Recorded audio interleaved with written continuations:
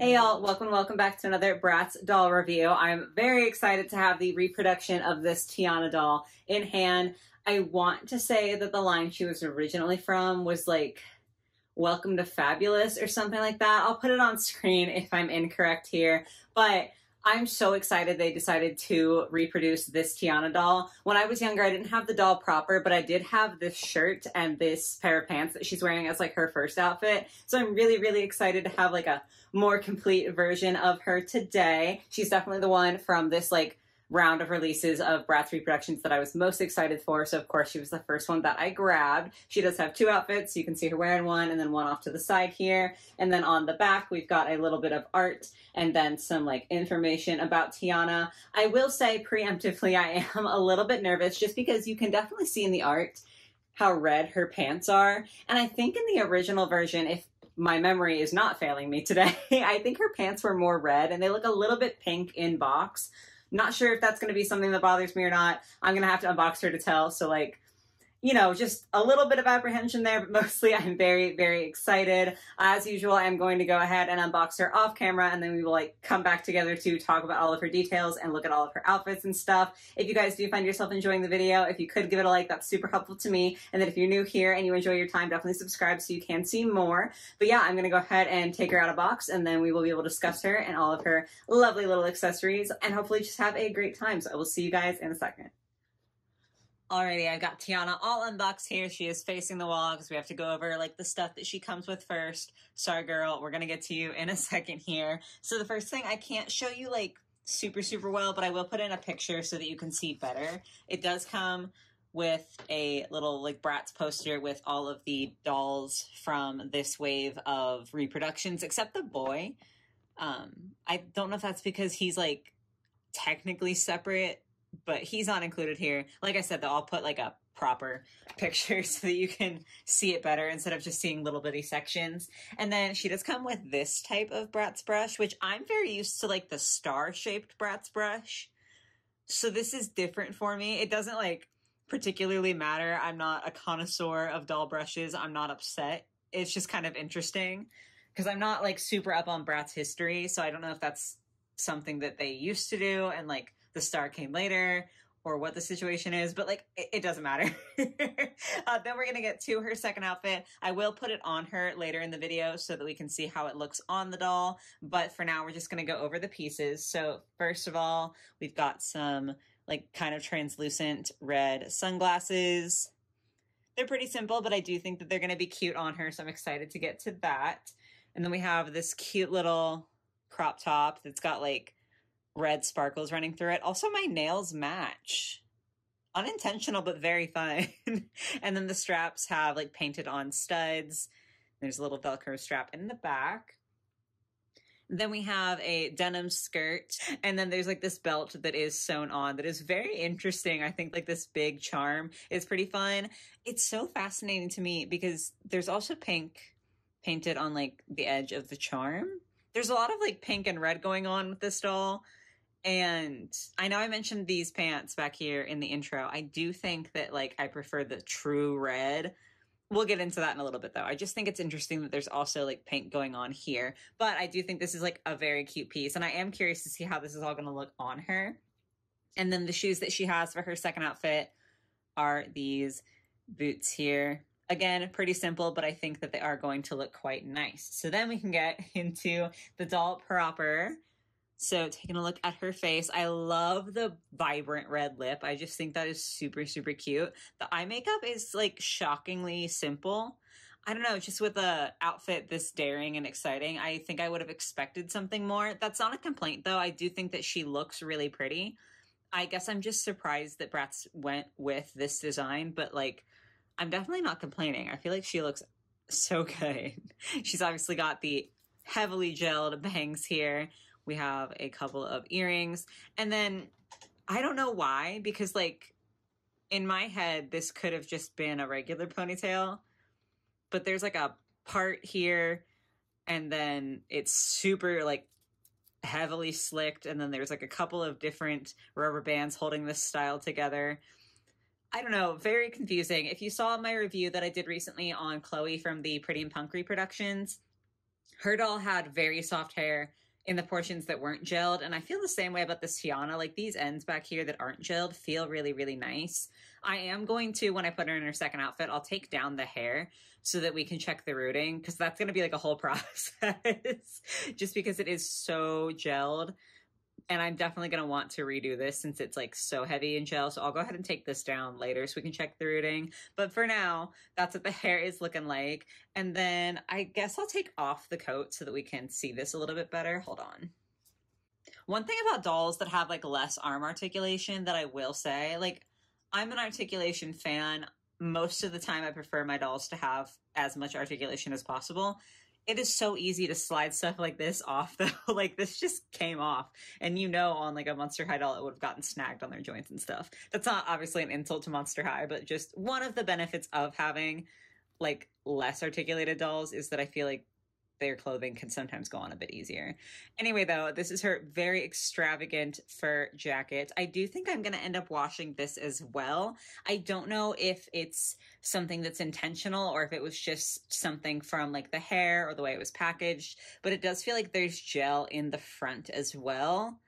And it's just like a little bit unpleasant to touch. The back feels fine. It's not like particularly soft. It's not the most soft that I've ever felt but it feels fine. It's just the front feels like really gross with the gel. So I'm probably going to fix that.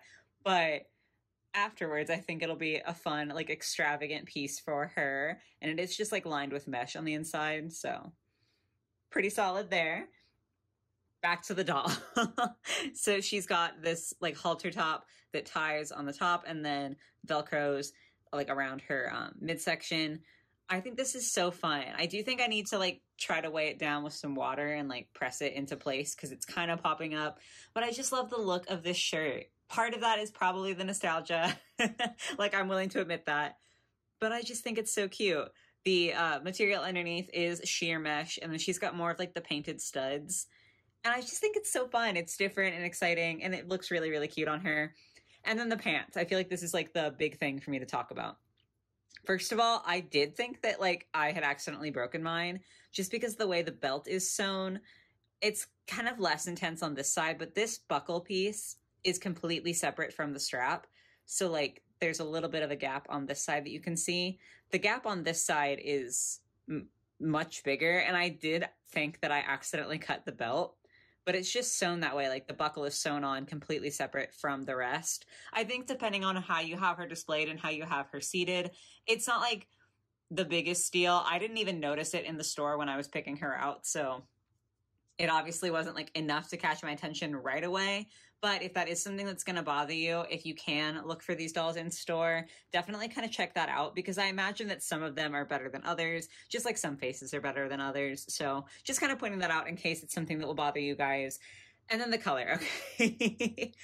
I I can't decide because I do think that in person they read less pink than they did when I saw like stock photos and stuff of this doll. Just a real quick editing interjection here. The pants do look very pink now that I'm seeing the footage here. It's it's just really weird how the color is because in photos I feel like it looked really really pink and then looking at my footage it looks really pink. In person it is definitely still not the true red like if you want to use my nails as the reference here since they very handily match. They aren't that color of red at all, but they are a little less pink than they appear in the footage. I hope that I can explain that well enough to like help you guys out. It's a very strange color, but yeah, just know that the footage is not like 100% color accurate.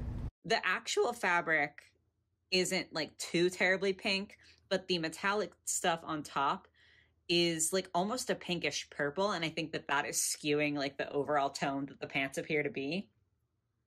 I don't know because I think like by themselves, even just this, I think is fine. But she's got the red and the hair and the lips, and it's like a very true red, like this shirt is. And I just feel like I kind of wish the pants were a little bit more red. But it's not terrible. It's not as bad as I was like afraid it was going to be. Obviously, I bought her, so obviously I wasn't that upset. When I saw stock photos online, I was a little bit nervous about it, and then when I saw her in store, I thought that she would be worth it regardless. So if anyone else was having that like wonder about the pants, again, I would urge you if you are able to to look in store. but I don't think that they're as bad as I thought they would be. I might be alone. I might be the only person who cares about that. But yeah, aside from the color, I do think that they're pretty soft. They're like a very stretchy material. There also is like a, a silver stud painting down the side. It's kind of hard to see just because of the metallic like it kind of gets lost but it's cute and i do like the cut of them. I feel like they're really really cute. I've got one little loose thread back here but it's not terrible. And then the shoes that she currently has on are just some black strappy heels. So that is most of what I have to say about this Tiana doll. I am going to go ahead and take down her hair so we can check the rooting and put her in her second outfit real quick so we can like see how that looks. And then we'll just do final thoughts and wrap up. So give me one moment. Alrighty, so this is outfit number two on her. And honestly, like, this is so much cuter than I thought it would be. Not that I thought it would be ugly, but outfit number one was definitely what drew me in. And like the pieces that I had as a kid are what drew me in. This is shockingly a contender for my favorite outfit out of the two. I thought outfit number one would be the clear winner but this is actually so cute. Like the boots are nice, the skirt is cute, although I still wish that these little guys were red. I do think it would match better with the top if they were red instead of pink. And I think she maybe needs like a necklace with this look. But it's so cute. Um, I did take her hair down. Not that you can super tell because it's just so gelled that it's like still kind of in there. But now we can dig through and hopefully check out how the rooting is. Maybe. Wow. Okay, there we go. So it's interesting because to me that looks like pretty standard. I'm trying to get to the other side because it's interesting because I'm having such a hard time getting to her scalp. Like there feels like there's so much hair. Yeah, I feel like that's pretty standard. It feels like more hair than it actually is, I guess, but that's a good problem to have. I would definitely rather it feel like more hair than it is than, you know, the opposite problem. So even though her hair is a little messed up, that's how we're going to round out the video. I will be fixing her hair and like posting pictures and stuff on my Instagram. So if you want to check that out, feel free. Um, she will not, you know, stay like this with her hair in this state. I promise I will fix it up. Oh, and I also, I forgot I have to put the sunglasses on her. Oh, yeah. See, they're so simple, but they're so cute. Wow. All right, so final thoughts. Um, I think my favorite thing is that I do like each piece individually. I think both shoes are very simple, like they're just black heels and then black boots. But they are nice, and you know, if you have a lot of other Bratz dolls, they're good because if you like to mix and match, these are very mix and matchable. Assuming you have Bratz dolls that have the same skin tone, because that's like the one thing with the Bratz feet is that like if I also bought Felicia and wanted her to have heels, I could not give her these heels unless I repainted them. Um, but that's an aside. That's just like a Bratz thing.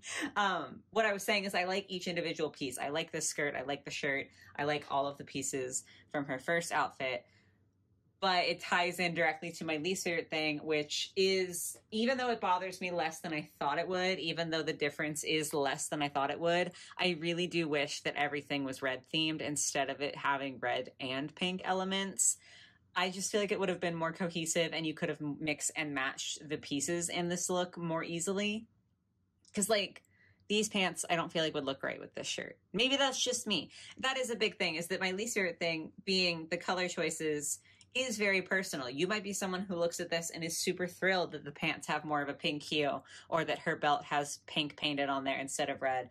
So it's my personally favorite thing, but I don't necessarily think it's something for me to complain about, you know, because it is so personal. I can't say this color is objectively bad because everyone has different thoughts and feelings about that. I guess my overall thoughts are that I do like her. I am happy that I have her.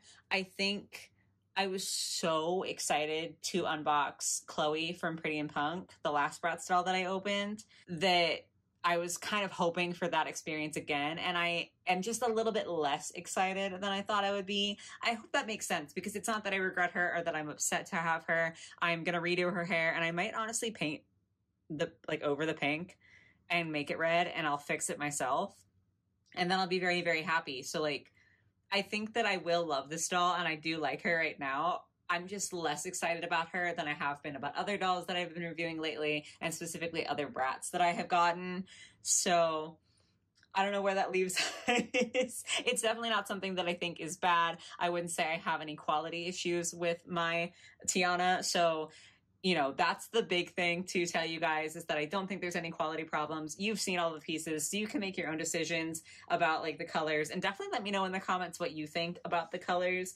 Um, overall, you know, she's not my favorite doll that I've unboxed this year, but I do still like her. And that's honestly the most that I can ask for. Sometimes I do these like unboxings and I get really, really disappointed and I don't have that feeling. So at the end of the day, I am still happy with this purchase. Um, but yeah, I would love to know what you guys think of her, if you have also bought her or like if you're thinking about it. As always, I do have my Instagram and then my TikTok linked in the description down below. And I also have my Amazon wishlist down there. So if you want to like find me on other platforms or support me in other ways, you can definitely check those things out. But yeah, that is going to be it for today. I do hope you guys enjoyed. I hope you have a lovely rest of your day or your night or whatever it might be. And I will catch you in the next one. Bye guys.